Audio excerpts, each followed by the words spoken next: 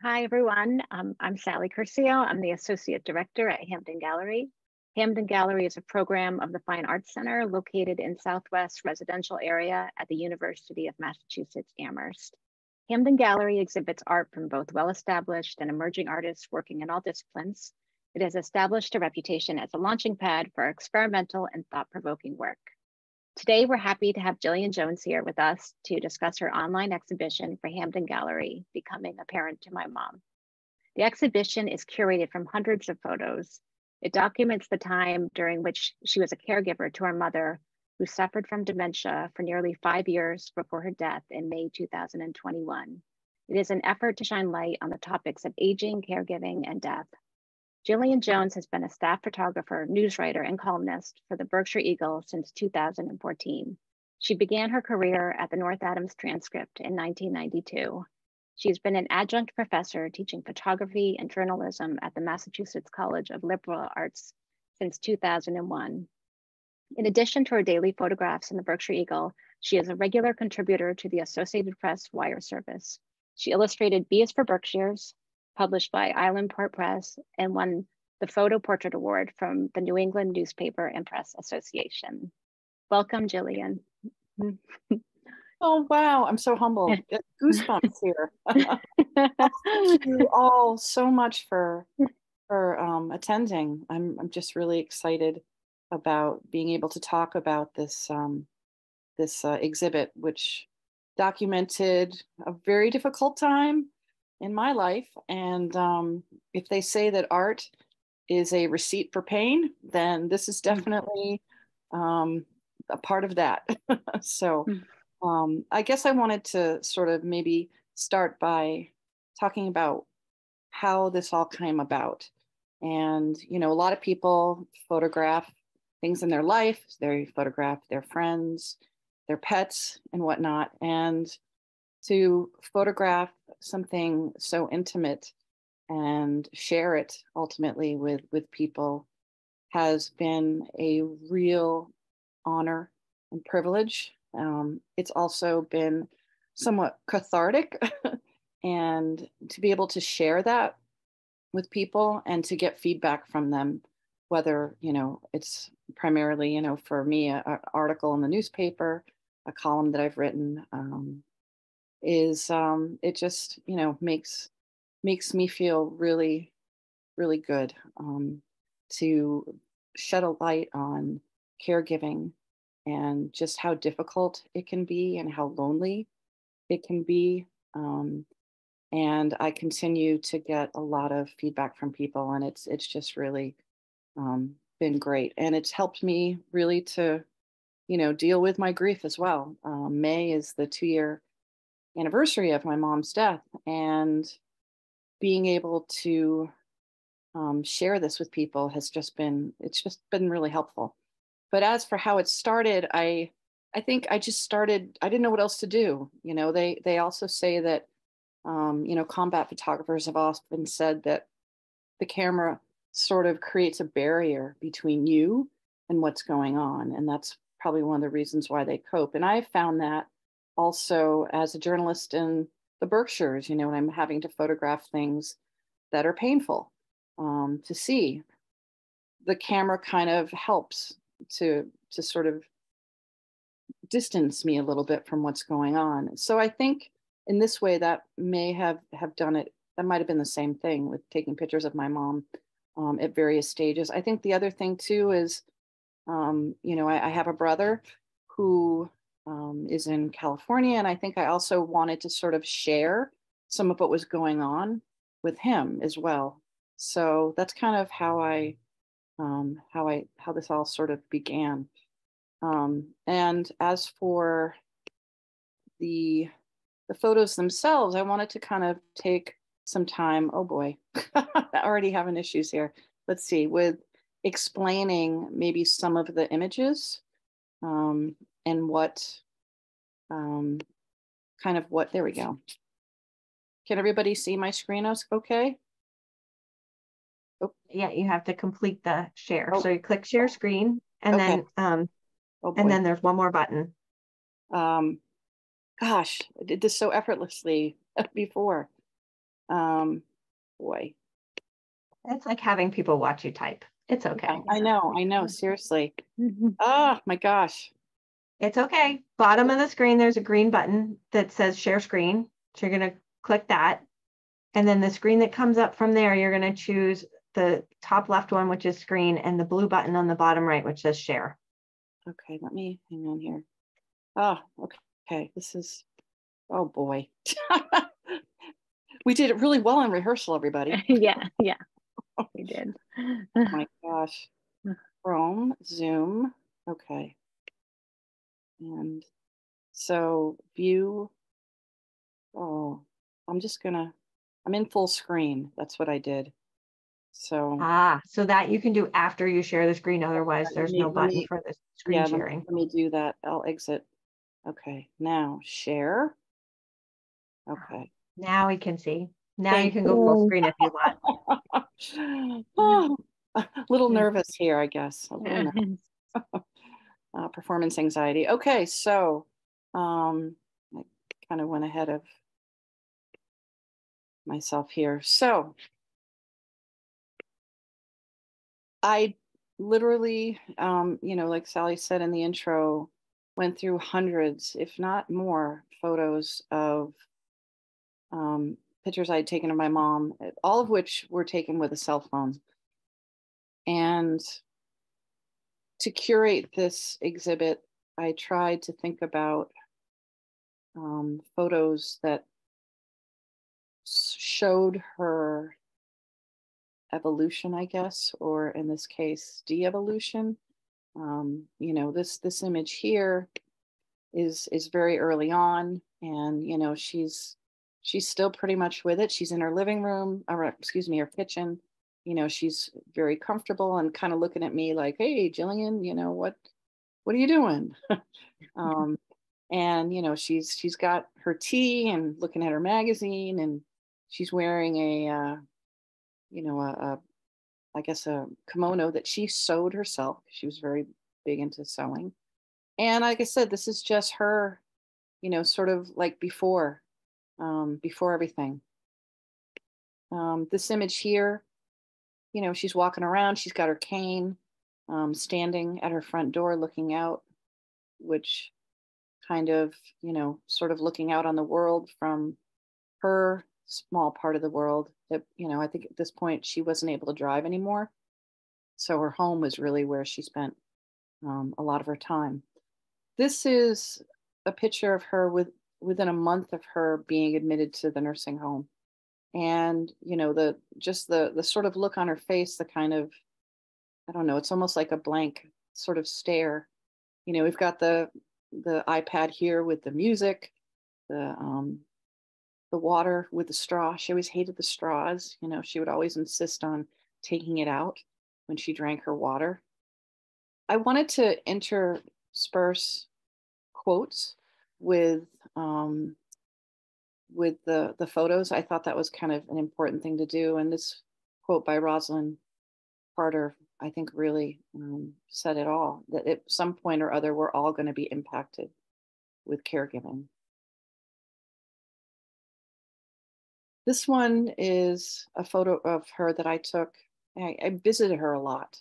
And, you know, in the nursing home, she, um, you know, it was, it was just so hard, just so hard. I visit her every, every day that I could. Um, you know, this is lunchtime. You can see by the clock, the, the meal that she hasn't eaten um, and probably won't eat because she was a vegan and trying to get that dietary um, just trying to get her food that she could eat was really really hard um, the other thing about this photo you know she's sleeping but the, it's sort of like a foreshadowing to me um, i she kind of i mean I'll, I'll just say it bluntly she kind of looks dead so you know um, i just feel like it's such a you know like more really just a foreshadowing of kind of what was to come um, and one of the best things about the nursing home was being able to bring her pets to visit her. And, you know, we grew up with cats. She had cats. This particular cat was called Bratty. And, you know, the smile on her face when she had her pets there was just beyond anything. um, you can imagine. It just was so, to, to, and to capture this particular moment was really, um, was really great. When you have your parents or people that you love in a nursing home, you got to put labels on everything because everything gets laundered together and you know so putting the label on was was really kind of necessary and um, so that's kind of what what that is. You know this image i'm kind of looking down upon her and she's sort of looking up at me. It is uh just sort of showing her vulnerability at this point um you know and she had been there you know for a few months at this point.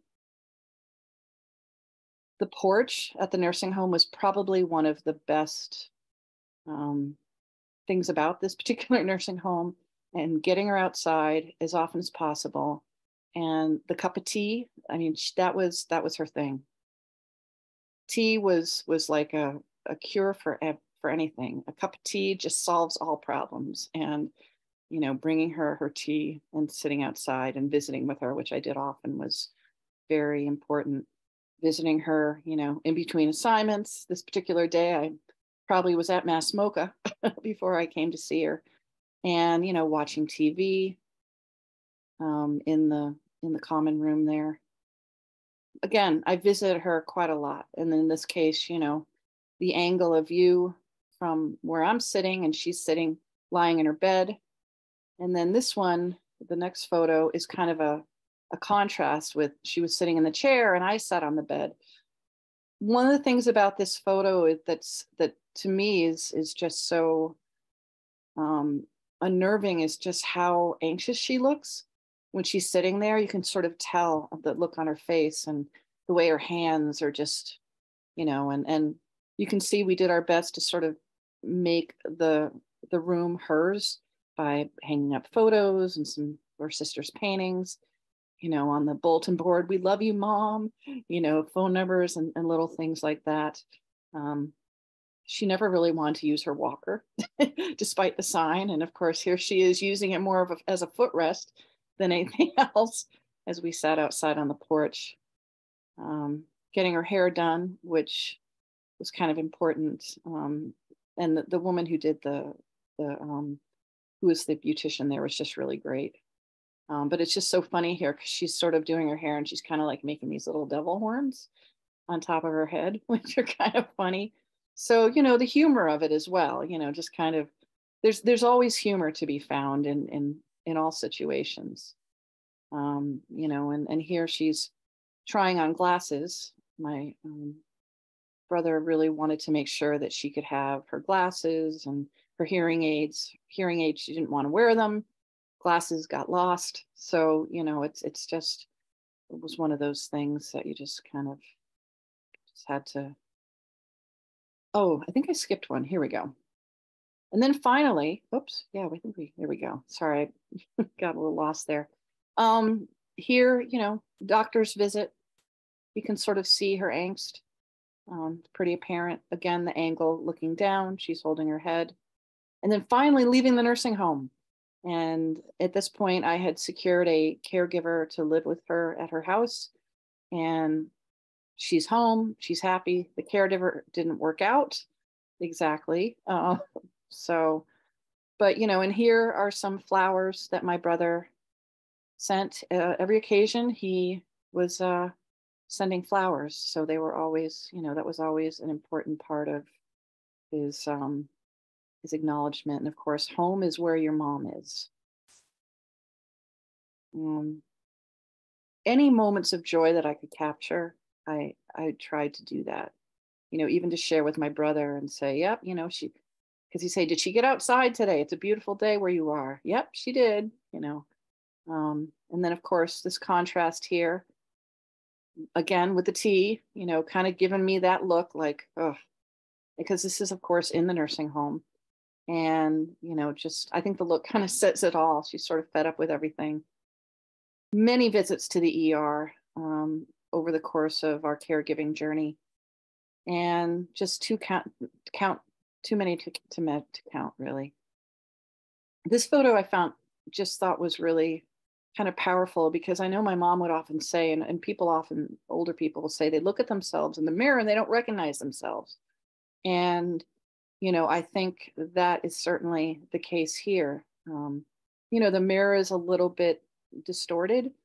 And I think, you know, how she appears is probably like, she's like, who is this person? You know, I don't know who that is.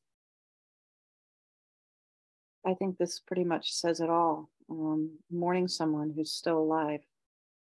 It's, I have to say, that is definitely what it felt like. When she was um, at home, whether it was with me or her own, or her own home, we relied on our caregivers. Um, it was like, it took a village.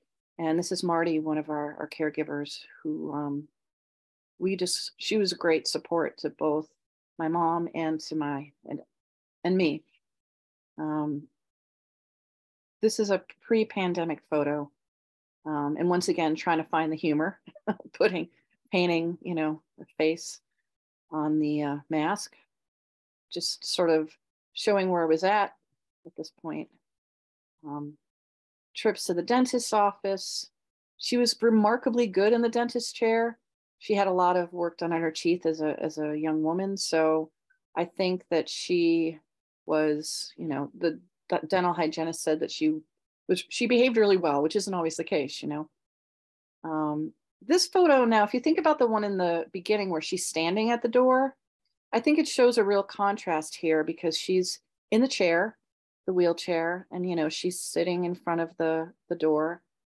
Um, but I what I loved about this was she just got her hair cut and she had the shawl on because she was always cold. And I feel like the the fringe and the texture in the shawl and with her hair it just is just a great combination in terms of you know an image um, being in the nursing home in between procedures or illnesses meant rehab and as you can see she's doing it but not really enjoying it um, again cats were such an important part of our lives and we had a lot of pet death over the five years. So one of our caregivers gave us a kitten, and this is one of those cats, um, and who's you know just there with my mom, just sitting there with her, and it just brought her so much joy. Um, it made us both laugh. You know, this is one of our other cats, Pippa, who um, you know, and just it was just I don't know, just was really, really great to be able to to share um, to have that be able to have pets you know uh, one of her procedures you know in the in the uh, in the the room before she got wheeled in and then this photo was one of the probably the the photo one of the last photos I took of her at home um, and I just you know you can see sort of the deterioration um, you know her skin tone. I honestly think at this point she was already dying. And you know, this is a plate. She took the plate, you know, she she ate her food and then she just did this weird thing and I I just took a picture. I don't even I don't even know why I did it, you know. Um and then from there, you know, she was hospitalized and then she was um, discharged to the nursing home and um, and then that is ultimately where where she passed away. Um, again, the the flower theme here um, for my brother. Hope you're feeling better soon. Of course, she was on hospice, you know, and um, from there, it kind of, you know, went. Um, and I, you know, I just, I don't know, I just, I just was taking pictures. I just, didn't know what else to do. And, and here is a, a photo album that I brought. And I kind of just wanted people to know who she was. You know, she was a person. And even at various times where she resided in a nursing home, I would bring a book of photos and show them. And I mean, she was a beautiful, beautiful young woman. I mean, she she was a dancer. Um, she could have been a model. She was in the New York City in the 60s and every photographer wanted to take her photo. She was working on a portfolio. I think she really could have been a model, but what she told me was that she was too short. so she couldn't do that. But I, you know, here's an image of her, and I just wanted to sort of show the contrast. Um, and then finally, um, after she passed, I I just found myself creating this this um, this image, a still life, in a sense, using the flowers that my brother had sent. It, it, it by the time you know it was all said and done, I think he had sent two vases of, of photo uh, photos of um, flowers for her, and you know I I came up with this image, and um, apparently the hospice. I was talking to someone later. They said a lot of people do this. They they'll take a photo like this after their loved one has passed, um, and yeah, it's you know almost two years after her death. I have to say that I have no regrets it's the hardest thing I ever did. And, but it was so worth it. I grew as a person. And um, I have so many people to thank for getting me through that really difficult time. Um, as I was looking through her, her, her things after her death, I found this. It was in her handwriting, um, and I just it just brought me such comfort and even more so at her funeral her um, the priest who actually was filling in for the priest that is normally at this church now is retired father sear he knew my mom he knew her sister and the fact that you know he was able to conduct her funeral um, mass was just I, I mean, I, it just was amazing. it could have it could have been more perfect, um, just because he was able to speak about her in a way that you know was was genuine and um, also heartfelt.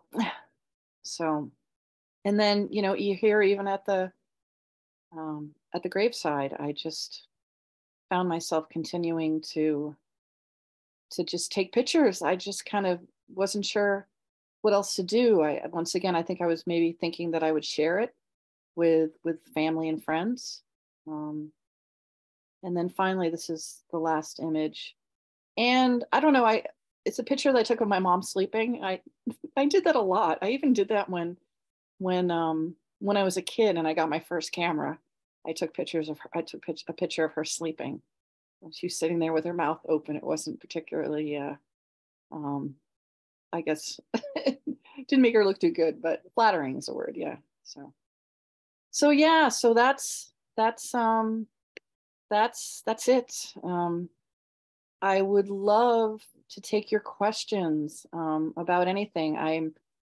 very, um, I feel like I'm very transparent. I, my mom always said I, I wore my heart on my sleeve, and I kind of feel like I'm doing that with this exhibit too. Um, to be able to share this is probably um, is just a real gift. So um, I'd love to uh, take any questions or comments. Um, I guess we can start with that.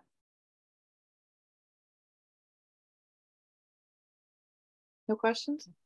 I, I know. I'm reflecting. I'm reflecting on all of it because yeah, some, reflect. Yeah, go ahead, Sal. Yeah.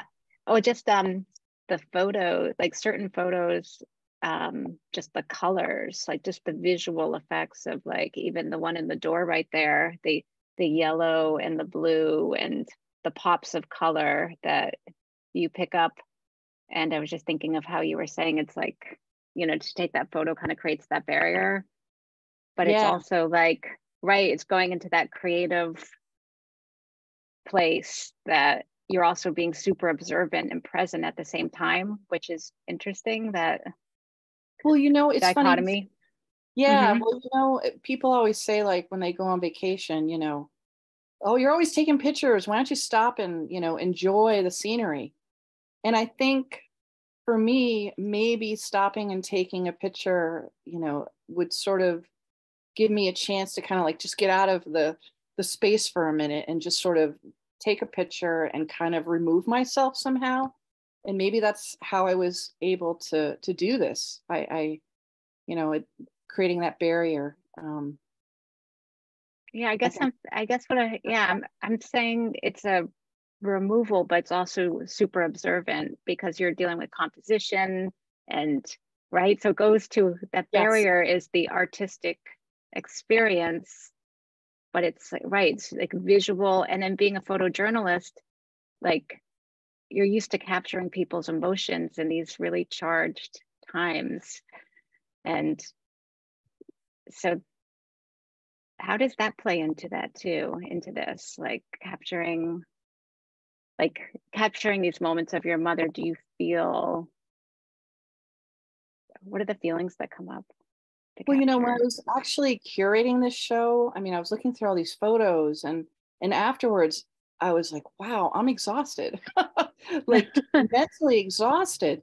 And um I was like, wow, this is this is really kind of hard, you know. I think, you know, as a as a journalist too, you know, I constantly having to photograph people in in very difficult um times you know, sometimes at their best and sometimes at their worst. So I kind of feel like I wanted to sort of share a difficult time in my life because, you know, so many people say, oh, well, journalists, you know, they're they're just out there preying on other people and capturing their misery and and uh, I just didn't want people to think that I couldn't also show a part of myself during a difficult time in my life. Um, so yeah i guess maybe that's you know i mean like i said it's just really about sharing a common humanity Mhm. you know um and i know I, I often wonder like what would my mom think about this and um i i think she'd probably be like oh gillian you know what why why did you do that? You know? But i mean she like i said we, i grew up looking at photos of her. Um you know i mean like I, I i think i wrote a column about being the um you know the the keeper of all the family photos from the time she was like a little kid. Um and i so i feel like i've kind of completed that that that photographic journey um Mhm. from you know her childhood to her death um you know and i guess that's just part of the storytelling that i i just generally do all the time. so, um, and she was, she, I mean, I've said it before in my columns. She was a great mom. She was a single mom. This is a a testament to her. Um, I everything I am or ever hope to be, I owe to my mom, and Mm. so I think this is this sort of is is for her. Um, let's see if I'll stop the share here and see if there's any other um, any questions. So, well, I I want to thank you all for for coming and and encourage you to um, sign the guest book and keep in touch. I am always happy to to chat with people or to email. Um, and if you if you think of something afterwards that you want to ask, um, please please do. There's a question in the chat. There is. I'm going to just read it out loud so that it's on the Yeah, they- recording. Is there any conflict with recording Oh. her experience objectively and your personal attachment? Hmm. Well, you know, um, objectivity. I, I, I, you know, as journalists, we try to be object objective, but I think objectivity is kind of a myth, um, because, you know, you everybody's different in how they perceive the world.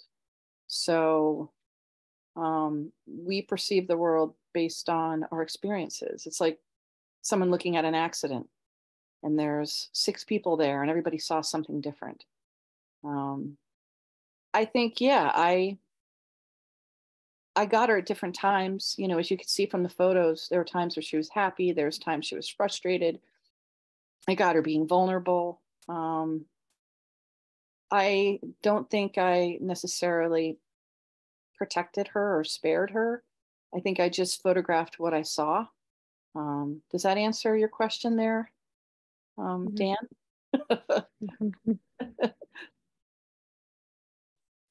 Oop, You're Oh, muted. you're- I think you're muted, honey. Yeah. Oh, there you go. Yes, it does, definitely. Thank you. Oh, good. That's nice. Thank you. So, And so people who don't know, Dan is actually my fiance. And I, if I have anybody to thank, it's him because yeah. he really, I mean, you know, he he had to deal with a lot when I was taking care of my mom. Um, my mom had a, a nickname for him. Um, she called him Baldy. and oh, and you know, it was just uh, It and was, it- it was, it was a pleasure It was seeing it with, with your mom. It really was. yeah yeah she was she it was and and you were real he was really supportive during this time um it was a very difficult time i don't know how many men would have put up with a lot of that stuff you know um the nights that i had to to sleep at her place um you know because i was taking care of her and he stayed at my place i mean you know it's uh but it was and it was also It was all good. it was all good. It's also really important to have a a network of friends and family. Um, I can't say I had a lot of family support, but um, I did have a lot of support from from friends. At the same time, it was really hard to talk to them about this because you know, unless you've gone through it, no one you, you know it's it's like you don't you don't want to share all the all the bad stuff. And I guess that's another thing too maybe what this exhibit is is an opportunity to share with people okay now it's over this is what it was like you know draw your own conclusions um so Yeah, it's something, it's a reality many of us are going to experience. And right yeah, and have you know already. Absolutely. And it's, yeah, you are shedding light on it by having this ex- exhibition Mhm. and all the different stages and yeah experiences that are difficult yet sweet and touching at the same Mhm. time. Thank you i uh yeah i'm kind of glad that chapter is behind me Mhm. yeah Someone raising her hand or? Hello Yeah. with their hand up. yeah go ahead Uh, I just wanted to, well, I, I want to echo what so many in the chat has have said about how moving this is. And I think I, I don't I can't speak for everyone else, but I think it, it took me a while to even find words because you know I think we all know that it's coming. You know, if Mhm. if you haven't gone through it yet. Um and so just and the, the sort of intimacy of the exhibition is just it's really so moving because I think so many of us, particularly now in this uh, social media environment, where what's usually caught in the frame of the camera is either the highly curated, sort of beautiful life or the extraordinarily dramatic, like once in a lifetime, tra- you know, traumatic Mm. event. But it's the the sort of the quiet um dignity of you know sort of an everyday sadly i mean obviously it was a significant period for you and your mother and your brother but um it's it's it's not a it's not a pe- piece of life that we often see and so i did actually notice something and i and i and i don't know if it's intentional or unintentional and i don't mean to gender this um, exhibition if that wasn't the intent but what I, what i know is what I saw is that you really didn't see men show up in any of the pictures until the funeral. And so like the care the Mhm. caregivers, the Mhm.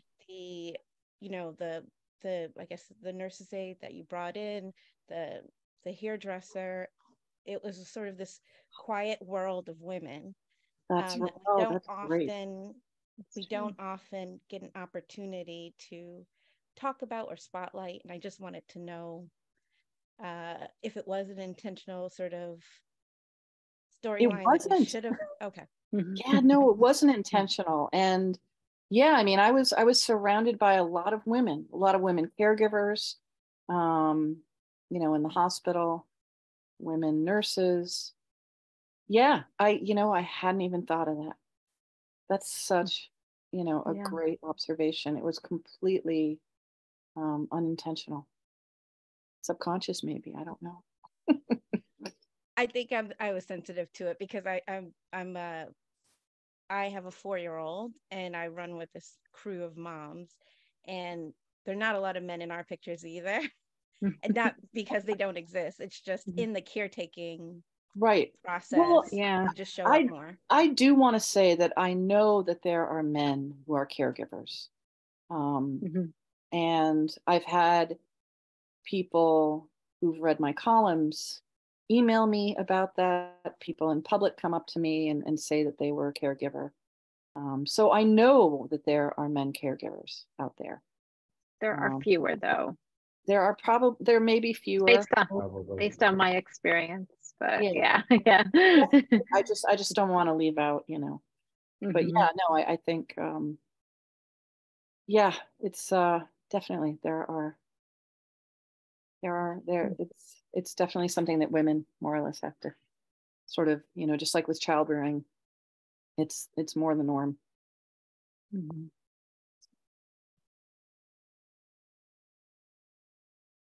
Thank you for that.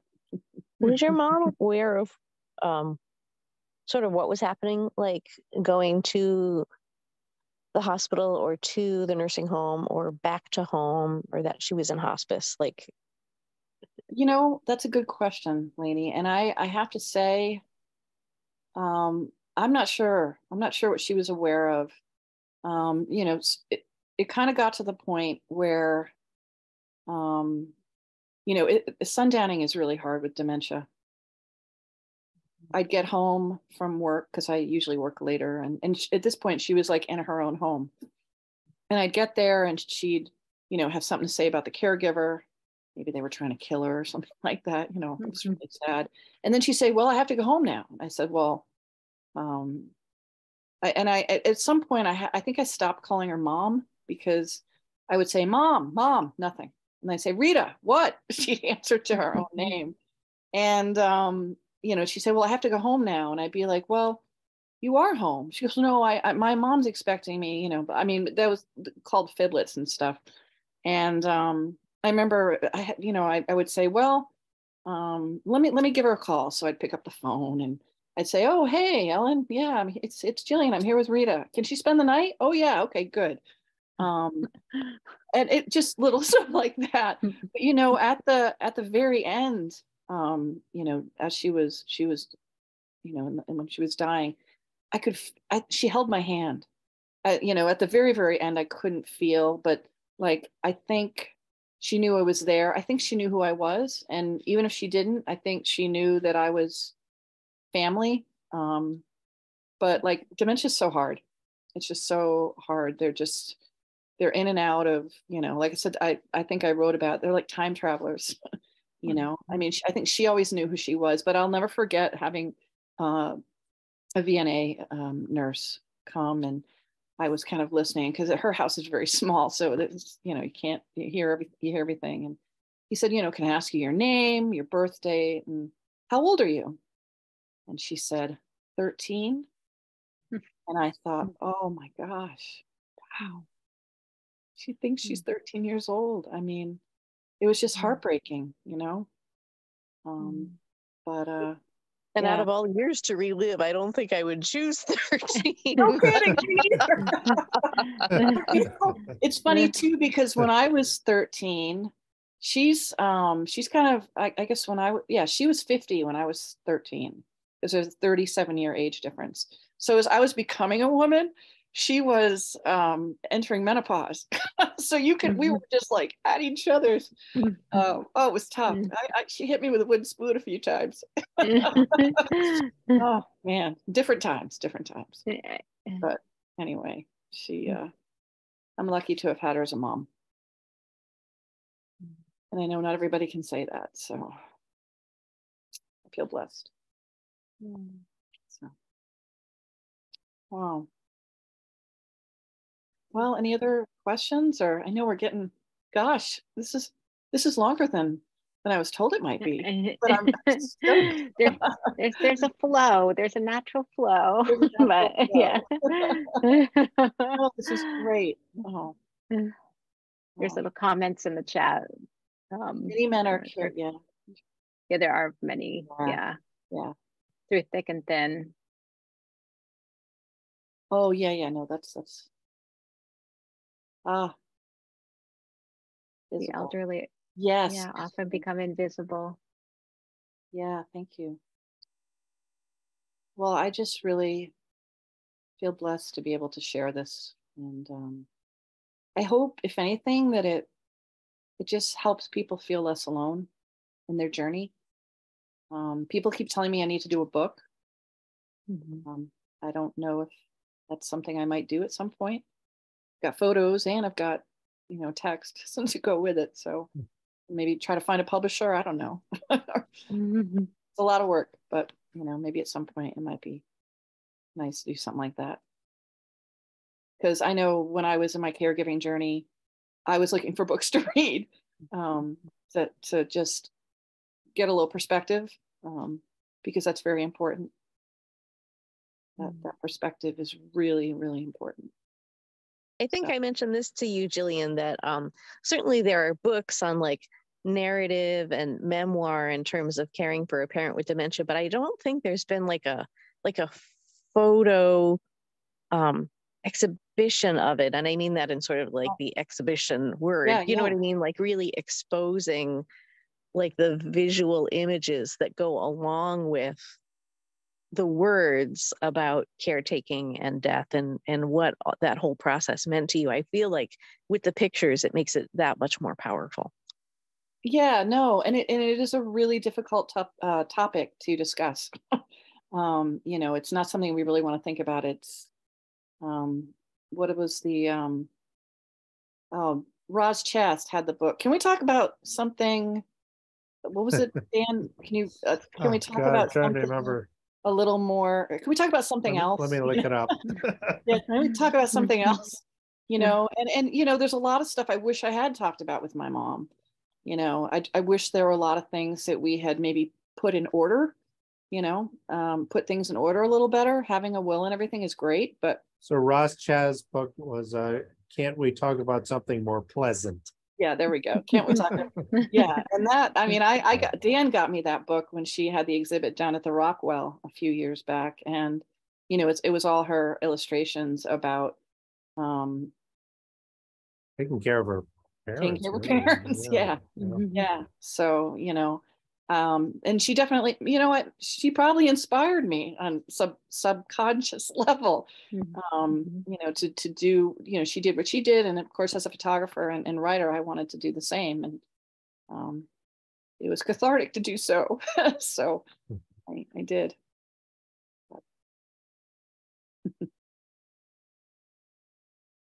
Anyone else? Yeah. We could do No, I mean, I know we could, I know, I know, we gotta stop, but um, I was just gonna say, yeah, I'm just reflecting on conversations I've had with friends about their parents and conversations that should be happening.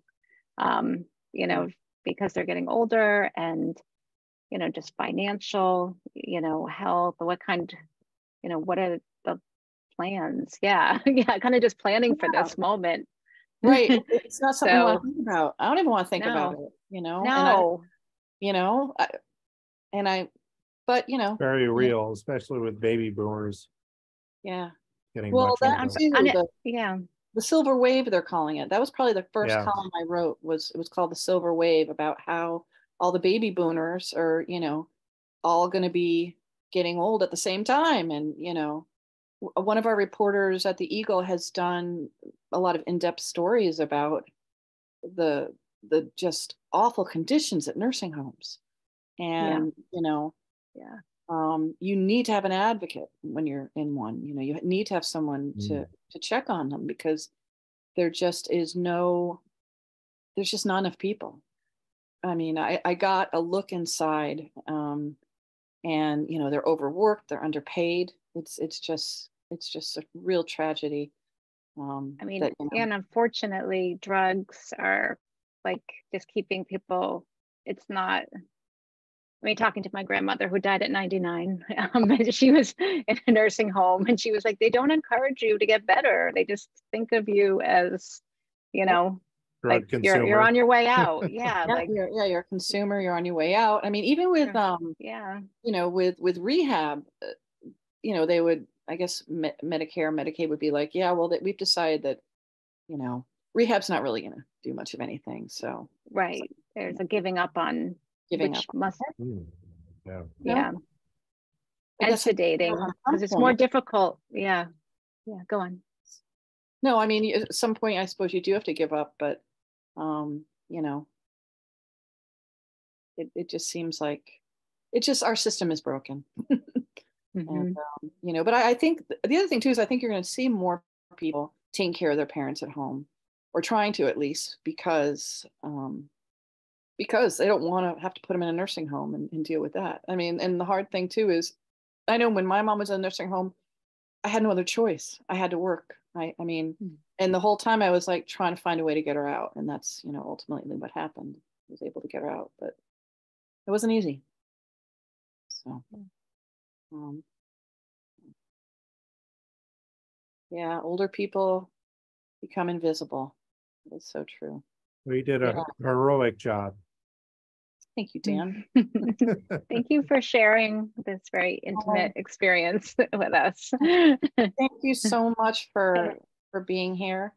And um I, that's it. Okay. I'm speechless. I've said it all. Yeah. Well, thank you. I'm turning off the recording. Mm.